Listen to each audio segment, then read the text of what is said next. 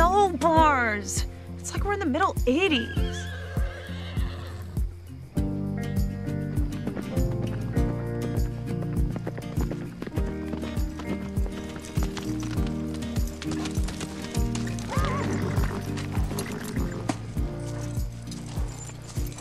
Okay, I'm still super mad. But you just rode the crap out of that horse.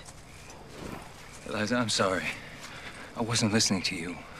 You weren't hurting me this weekend, you were helping me. Let me guess.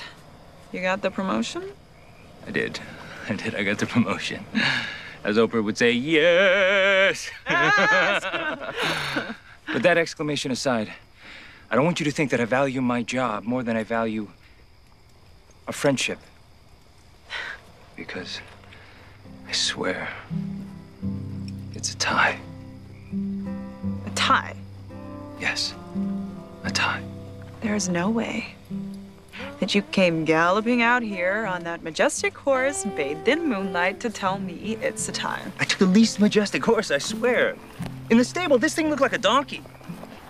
You worship me. I do not admit worship. it. Uh, no. Just admit it. You worship me. It's No. okay. I, I have grown accustomed to your face. Thank you.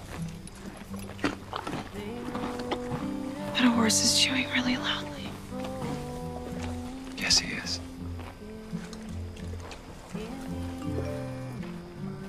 Looks like you found your signal.